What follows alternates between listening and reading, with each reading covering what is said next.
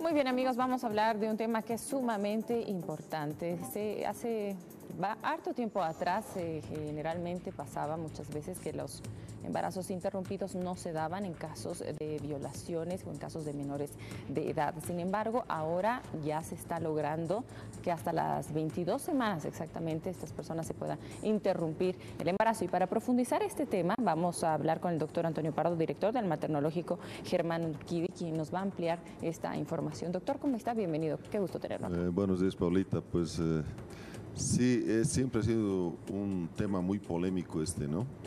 que la Defensoría del Pueblo y otras autoridades han querido que interrumpamos, no, importa la edad gestacional, si el bebé está moviéndose o no, si está vivo, igual quería que interrumpamos, ¿no?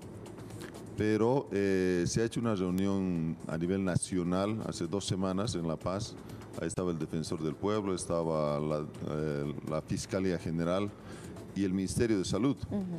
Entonces se ha quedado en que la interrupción legal del embarazo, que está relacionada con agresión sexual, con violación, etc., la interrupción legal es solo hasta 22 semanas. Y todo el SUS va, a cubrir. Pero más allá de las 22 semanas ya no se va a interrumpir los embarazos, se va a comunicar al, ministerio, el ministerio va a dar una línea de tal manera que estos embarazos continúen con un grupo especializado, ¿no? psicólogos, todo esto, para eh, poder eh, dar viabilidad al bebé. O sea, se va a salvar el bebé y posteriormente se va a dar en adopción, se va a tomar otra medida. Perfecto, entonces eso se ha logrado definir después de que se han reunido todas estas autoridades eh, en pro, me imagino, de la sociedad. Podemos reiterar, doctor, entonces hasta las 22 semanas eh, todavía está permitido legalmente la interrupción del embarazo. Esto en caso específicamente de violaciones.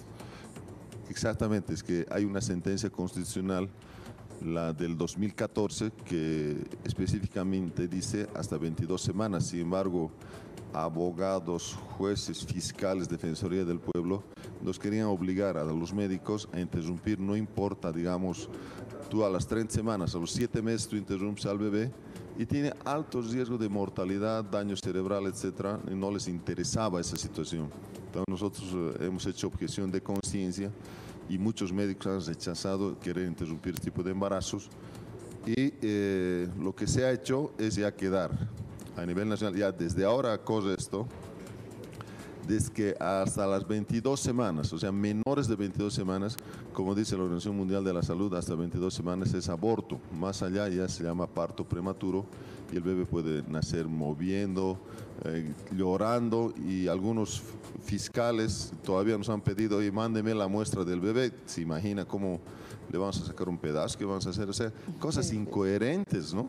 Pero ya hemos quedado eh, bien claros porque no sé si se acuerdan, este director ha estado inclusive en la, en la fiscalía, le quería imputar por homicidio, no sé qué, pero eh, ya ahora el fiscal ha dicho, no, nunca ha ocurrido eso, sin embargo, tenemos antecedentes. El, caso es que tiene que ser por violación, tiene que tener consentimiento informado de la persona o de la familia y que tenga una denuncia formal a la FELCE. Bueno, definitivamente, doctor, es un tema sumamente controversial, eh, el cual ha sido muy polémico durante muchos años. ¿no? Pasa a veces que también son menores de edad, pasa a veces que no se dan cuenta que están embarazadas muchas veces hasta que pasan muchos meses. Entonces, la situación definitivamente que vivimos socialmente en nuestro país es complicada. ¿Qué es lo que se tendría que hacer para evitar estos embarazos no deseados, evitar este tipo de violaciones? Definitivamente definitivamente es complicado. Definitivamente, Paulita, la idea es no llegar a esto, ¿no? No llegar, que haya no llegar a que haya violaciones, que tengamos que interrumpir embarazo, etcétera.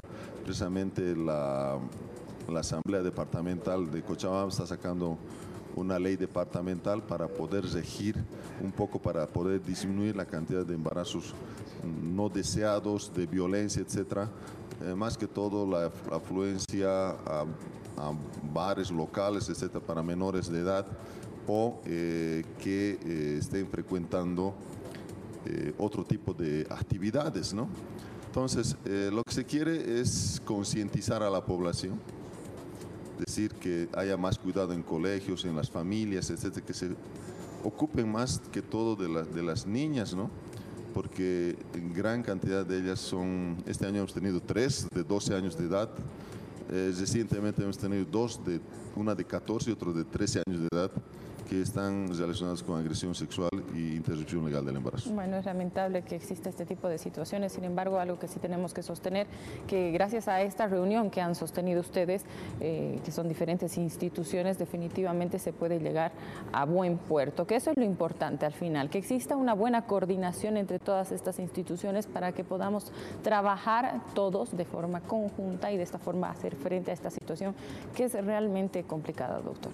Realmente, Paulita, es un gran avance porque no, no se tenía claro, para los médicos estaba claro que era hasta 22 semanas, pero el Código Penal no pone pues edad gestacional, piensa que aborto sigue siendo a los nueve meses, eso es totalmente absurdo, pero eh, las autoridades han entendido, han entendido que tiene que ser hasta 22 semanas y ya se va a trabajar para eh, poner una adenda en forma escrita en el futuro, pero ya corre desde ahora de que eh, nadie va a obligar a nadie de que tenga que interrumpirse más allá de 22 semanas. Perfecto, doctor, muchísimas gracias. Bueno, esto definitivamente es un tema que, que preocupa, preocupa mucho a la población, preocupa mucho a la sociedad, el crear conciencia en las familias, crear conciencia en las personas sobre esta situación que es de verdad cada vez más frecuente en nuestro país. Doctor, muchísimas gracias por su presencia y por su tiempo. Eh, Paulita, por informar a la población.